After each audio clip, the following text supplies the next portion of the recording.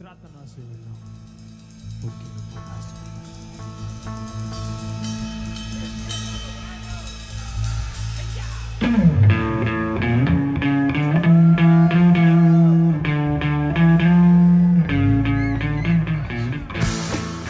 Our Earth is a blue planet and contains an amazing diversity of life. The ocean makes up roughly 75% of the planet's surface, and below the waves we find an incredible abundance of plants and animals.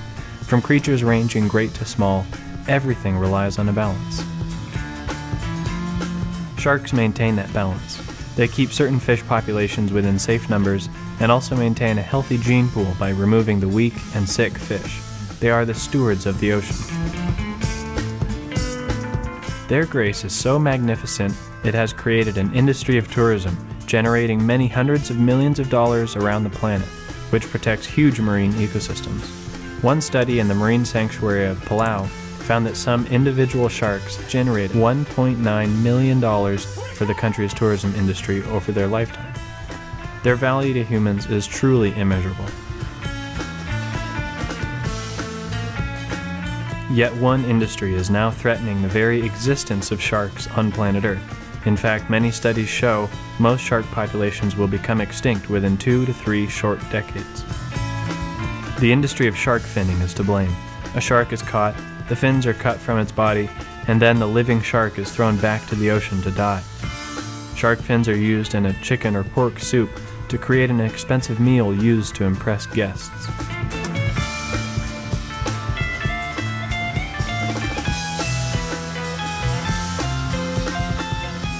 Our greed and our gluttony for this soup has already removed 80 to 90% of all the sharks on planet Earth. We are removing sharks at a rate of 11,000 every hour of every day. This image shows how many sharks we remove every hour. The magnitude of the shark fin industry is causing the utter collapse of the shark population, a crisis which will bring about unimaginable consequences to the rest of the ocean.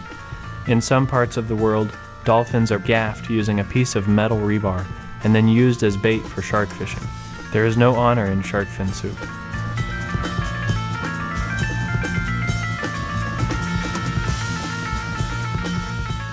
Many countries around the world have created marine protected areas to save the sharks and other species, areas like the Galapagos Marine Reserve and the Malpelo Nature Reserve.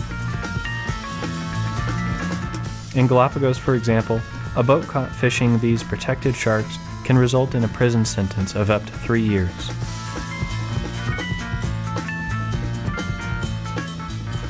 But the shark fin industry has ignored these boundaries. In 2011, boats were found and seized in various marine reserves containing many thousands of slaughtered sharks.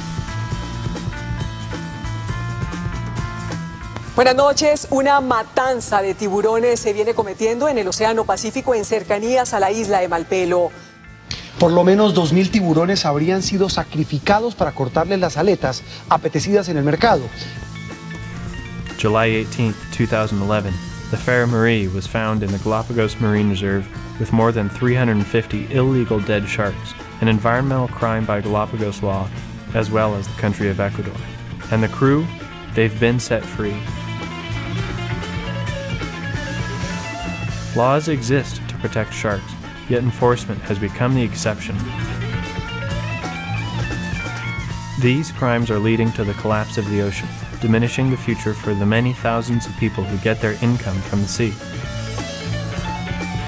Shark tourism generates hundreds of millions of dollars, benefiting not only the scuba diving operators, but the restaurants, the hotels, taxi drivers, airlines, and the countless millions of dollars being paid in taxes to governments. Sharks are simply worth a lot more alive than they are dead.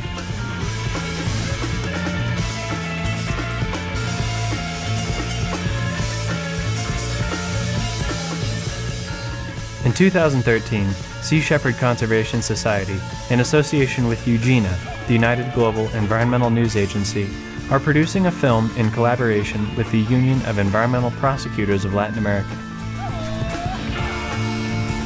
Together, we will bring the voice of sharks to the offices of environmental prosecutors, judicial authorities, and government representatives across ocean bordering countries of Latin America. We need your help to make this a reality. Sharks need your help to make this a reality. Thank you very much.